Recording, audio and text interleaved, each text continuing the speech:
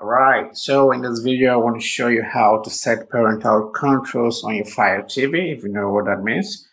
So this is going to control what your kids are going to watch.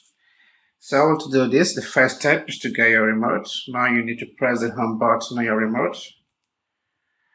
And now use the directional keys to go to where we have settings. And that's the gear icon. So that's it right there. Now scroll down to preferences, now click. Now you can see parental controls right there. Click on it.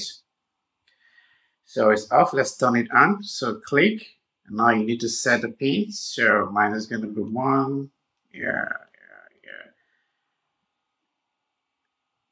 And that's it, it's done on. So if you wanna turn it off, you can click on it and enter your pin that's it, it's off. So that's how to turn on off parental controls on your Fire TV. I hope this video was helpful. And if so, please give me a thumbs up and subscribe to this channel for more videos like this. Thank you for watching. See you in the next one.